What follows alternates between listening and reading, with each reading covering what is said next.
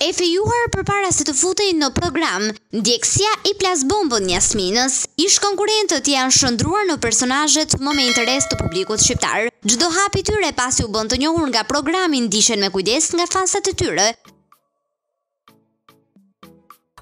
Për të ndjekur të gjitha videot që ne publikojmë, ju lutem subscribe. Nëse vërtet i pëlqeni, like dhe mund të shprehni mendimin tuaj në koment.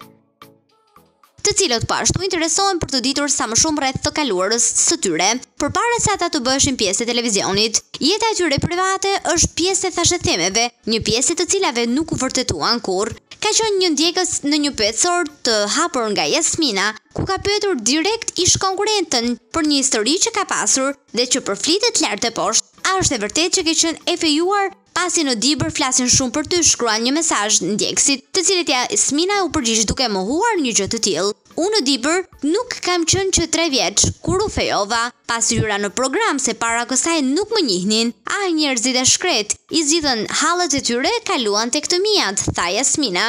Kujtojmë që për një fejesë të mundshme më parë për një të dashur jashtë programit është përfolur edhe Lediana, madje ajo është akuzuar dhe nga vetë konkurrentët për një gjë të tillë. Ky thashethem u mohua nga ish-konkurrentja dhe nuk u vërtetua më kurrë.